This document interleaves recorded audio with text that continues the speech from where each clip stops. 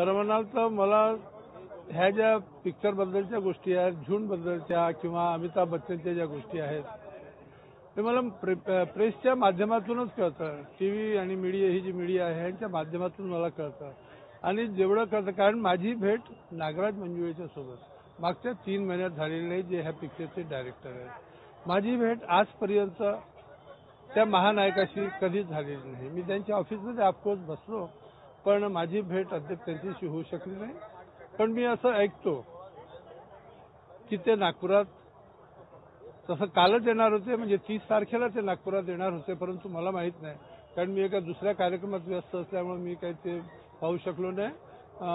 परंतु एवढी गोष्ट नक्की आहे कारण नागपुरात सेंट जॉन हायस्कूल जी आहे मोहननगरमध्ये तिथं ह्याची ह्याच्यासाठी सेट उभारला गेला आहे. जो जो सेट मी पाहिलेला आहे मला असं वाटतं की लवकरच म्हणजे आता लवकरच ताबडतोबमध्ये याची शूटिंग सुरू होईल.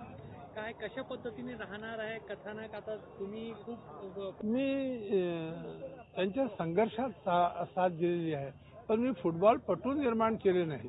मी फुटबॉलला माध्यम करून त्या जे संघर्ष करणारे खेळाडू आहेत किंवा खेळाडू नाहीत त्यांचं जीवन बदलण्याचा म्हणजे फुटबॉलच्या माध्यमातून मी त्यांचं जीवन बदलण्याचा प्रयत्न करतो.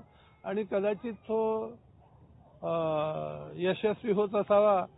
आणि त्याच्यामुळंच आज जे आहे की मी तुमच्या माध्यमातून सैराटचे जे डायरेक्टर नागराज मंजुळे ह्यांनी जे जे कथानक तयार केलेलं आहे त्याच्यावरती म्हणजे माझ्या माझ्या जीवनावरती त्यांनी जे कथानक तयार केलं आहे त्याच्या त्याच्यावरती पिक्चर बनवून झालेलं आहे सगळं शूट नागपूर आउटडोर शूट जो आहे तो नागपूरमध्ये आहे. आणि जसं मला माहीत आहे की नागराज मंजुळे काही खूप वेळ लावत नाही पिक्चर बनवायला. दोन तीन महिन्यात तो पिक्चर तयार करतो. आणि यशस्वी पिक्चर तयार करतो. तर पंचेचाळीस दिवसाचं शूटिंग त्यांनी सांगितलं होतं की ते नागपुरात होणार. आणि कदाचित ते जेव्हा सुरू होईल त्याच्या नंतर सुरू होईल की सेट बनवू लागला त्याच्यापासून मला कल्पना नाही लवकरच महानायक नागपुरात असतील. हा. महानायक नागपुरात राहणार ही गोष्ट नक्की.